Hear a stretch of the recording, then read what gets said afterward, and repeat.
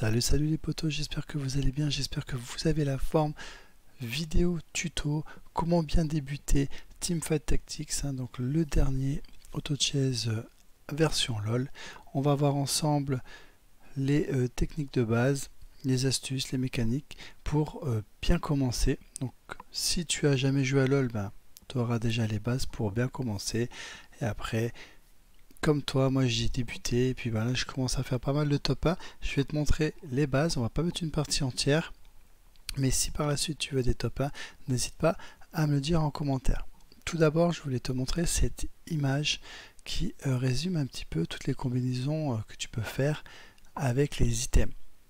Sache que cette image, je te mettrai le lien pour euh, que tu puisses la regarder. Donc tu auras tout qui sera résumé sur cette image. Comme ça, tu ne seras pas perdu. Tu en as une autre aussi qui va résumer toutes les combinaisons euh, de classes possibles avec euh, les différents champions.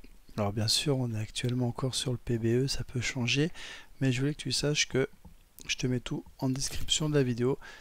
Comme ça, tu auras vraiment de quoi bien commencer. On va lancer une partie, on va découvrir ensemble les mécaniques de base. Je vais te donner 2-3 astuces qui font toute la différence entre avoir le top 1, 2, 3 ou euh, le louper de peu, tout simplement. Donc on va lancer une partie en espérant qu'il n'y ait pas trop d'attente, mais bon, normalement euh, ça pop euh, presque instantanément.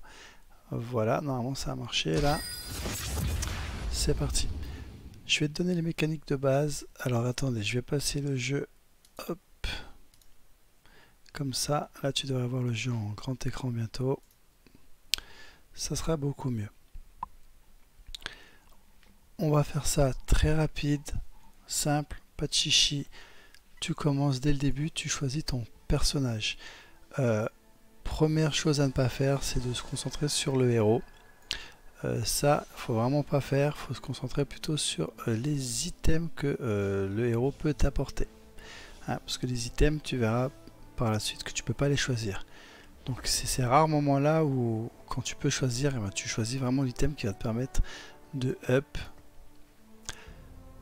tes euh, futurs champions. Première chose, tu joues contre 7 adversaires. Donc c'est une sorte de battle royale, le dernier en vie à gagner. Tes points de vie, tu en as 100. C'est euh, ton avatar ici. Si tu meurs, que l'adversaire donc forcément gagne, plus il a d'unités sur le terrain ici, plus tu auras de dégâts. Pour l'instant c'est très simple. Quand tu tues ces phases euh, de mob là, ces phases PVE, chaque mob a une chance de te donner un item. Donc ces, phases sont vraiment importantes.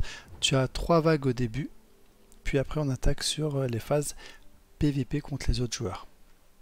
Donc là je vais me concentrer.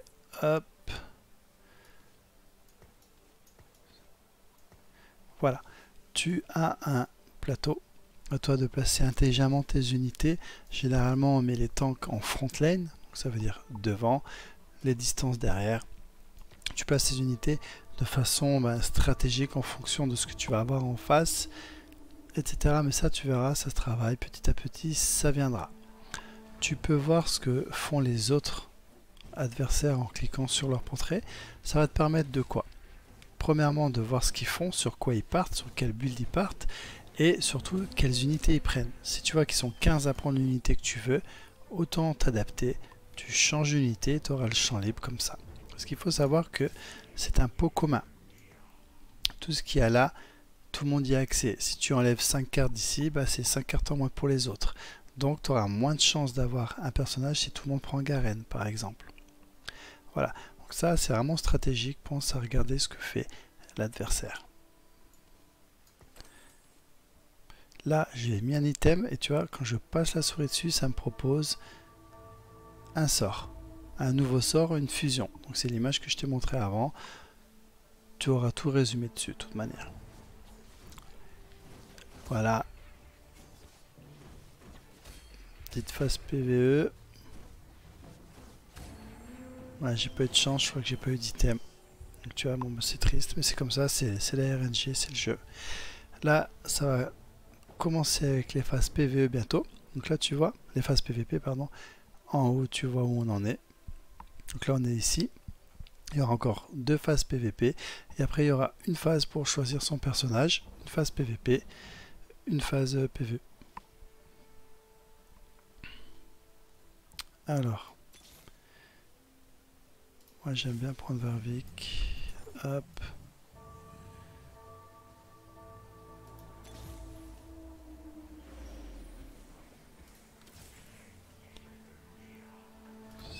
Voilà. Ici, deux pièces d'or, tu actualises tout le shop. Tout ce qu'il y a ici, la liste des champions que tu peux acheter. Ici, pour 4 pièces, tu peux changer de niveau. Plus tu as de niveau, plus tu peux mettre de personnages sur ton sphérié. Enfin, le plateau. Ici, je suis niveau 3, donc je peux mettre 3 persos. Niveau 4, tu peux mettre 4 persos, etc. Quand tu perds ton premier round PVP, première grosse astuce, enchaîne et lose. Plus tu enchaînes et lose, plus tu auras un bonus de pièces d'or, comme tu peux voir, série de victoires, défaites. Donc tu te laisses mourir en boucle si tu perds la première. C'est pas grave, regarde, je vais mettre une unité de merde, exprès pour que je puisse mourir tranquillement. Voilà, pendant ce temps-là, nous, on va se faire plaisir. Regarde, boum, on a déjà un rang 2. Tu vois, tranquillement. Ne monte pas trop vite de niveau, c'est un conseil que je puisse te donner. N'aie pas peur aussi de perdre des points ici, tu t'en bats les, couilles. Hein, le but c'est euh, d'être stratégique, de cibler les unités que tu veux, ça viendra petit à petit. Nous, on cherche à faire un, un set sauvage pour avoir le bonus sur tous les alliés. Donc là on est à 3 sur 4. C'est ici que tu vois tous les sets, tu vois, sorcier, métamorphe.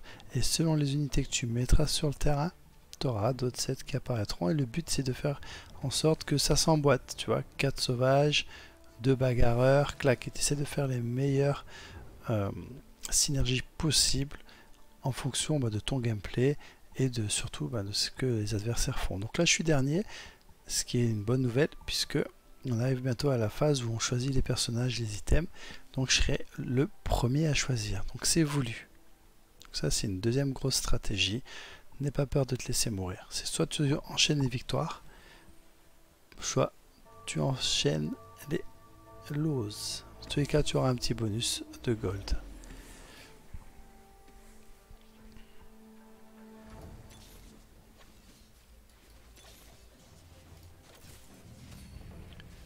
Voilà, donc là je suis passé niveau 4, je peux mettre un nouveau personnage, un nouveau euh, champion sur le plateau. Me dis pas que j'ai gagné, mais comment j'ai pu gagner? Ah, il y en a, ils sont vraiment mauvais. Hein. Même tu mets des unités pourries, tu gagnes. Ah, c'est parce qu'il m'a... Les a mis sur le plateau. le rang 2. Ouais, il te met aussi, il manque une unité sur le terrain, il te la met automatiquement. La spatule, c'est clairement l'item en priorité à aller chercher. Il te permet de mettre un personnage en plus quand tu en as deux. La spatule. Donc c'est complètement broken.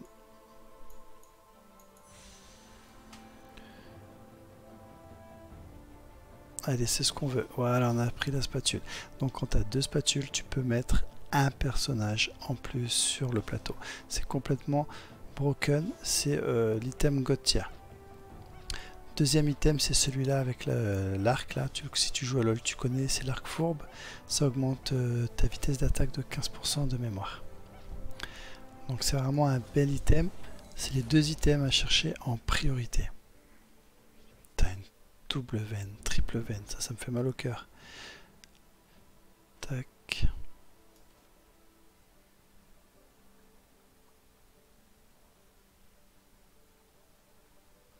Si on fait ça, ça c'est bien. Vous voyez, je viens de faire une combinaison d'items. 20% de chance de gagner des vitesses d'attaque.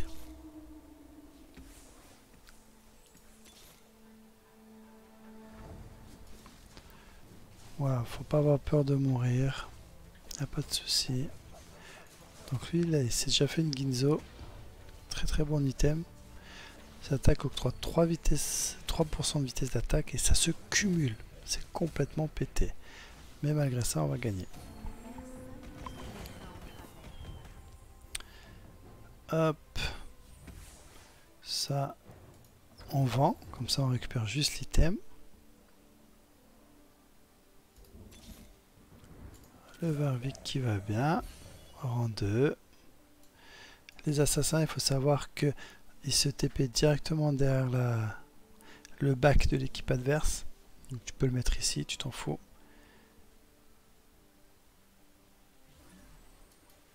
Alors, qu'est-ce qu'on a? Regarde, très très bon. Alors. Ah, mais c'est vrai qu'elle est considérée comme sauvage, elle aussi.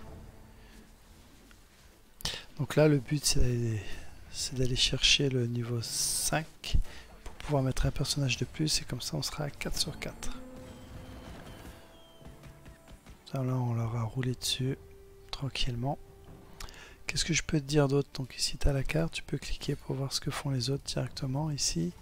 Là tu as les sets, je te mettrai le résumé de toutes les combinaisons de sets possibles avec les classes. Là tu as les phases en haut, les adversaires que tu affrontes. Donc là c'est une petite phase PVP. Alors attends, je vais prendre un niveau, comme ça je peux mettre un personnage en plus. On a le buff 4.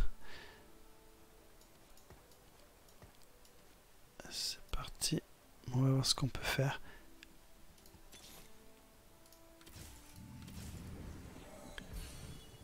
Putain, ce serait bien de mettre un Varvic en plus plutôt. Ah mais je perds le buff. Trop tard. Ça va se faire quand même. Donc pour rappel, chaque mob a une chance de donner un item en plus. Les items ça peut faire une game. Hein. Franchement, ça c'est toi et ta chance. Hein. C'est vraiment la RNG. As là deux mobs, pas d'item. On espère en avoir un, ce serait sympa. Non, pas d'item. Tu vois. Donc là va falloir euh, faire au mieux. Qu'est-ce que je peux te dire d'autre? Donc ici, oui, je t'ai pas expliqué euh, les intérêts. Qu'est-ce que c'est? Certains joueurs vont aller... Euh, vont pousser le l'économie jusqu'au bout. Ça veut dire que si tu as 10 pièces, tu as un gold en plus par tour. Si tu en as 20, tu as 2 pièces en plus d'intérêt. Si tu en as 30, 3, etc. Donc plus tu as de l'économie, plus tu as de, de gold sur toi, plus tu auras des intérêts en plus. Donc ça te permet d'avoir un maximum de gold. Donc ça se fait, c'est une technique comme une autre. Très très bon personnage celui-là.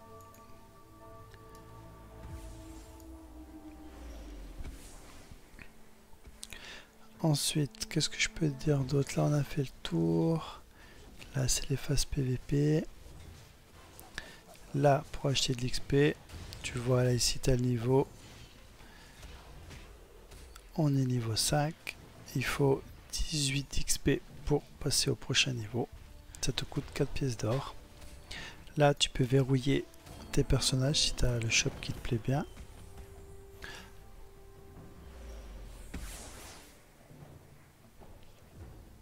Bon.